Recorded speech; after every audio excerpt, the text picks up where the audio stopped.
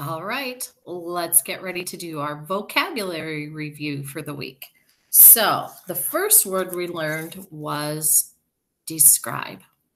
If you describe something, you tell someone about it. You might tell how it looks, tastes, smells, or acts. So, if I were to describe the weather today, I would say that it is sunny with some white puffy clouds, but it's very cool out.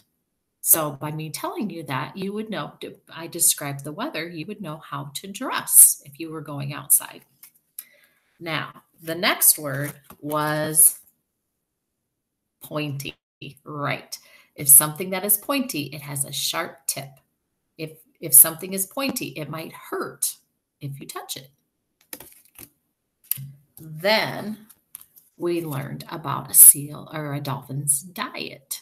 A diet is what a person or animal usually eats or drinks. So the cow's diet would be grass, corn, maybe some flowers, and water. And the last word was a fun one playful.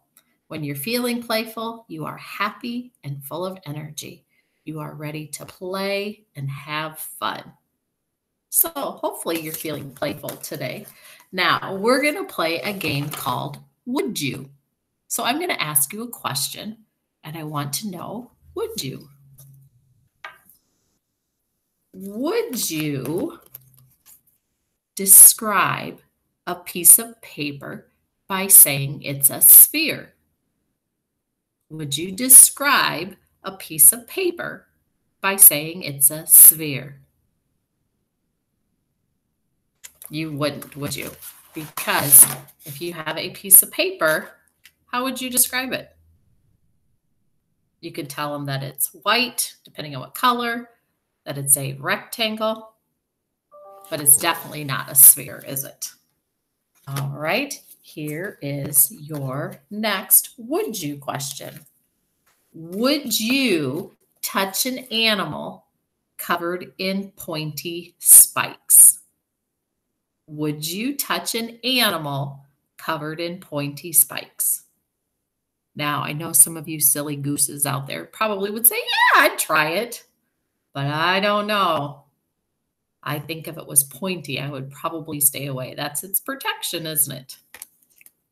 Here's your next would you question. Would you say that apples are part of your diet? Would you say that apples are part of your diet?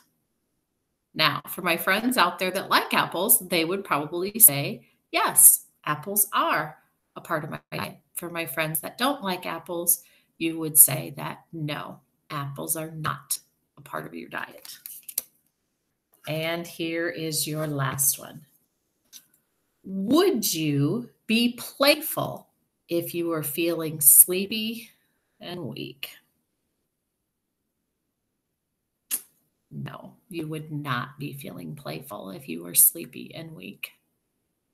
But I hope today that you are not feeling sleepy and weak and you are feeling playful and maybe can have some fun outside. We'll see you later.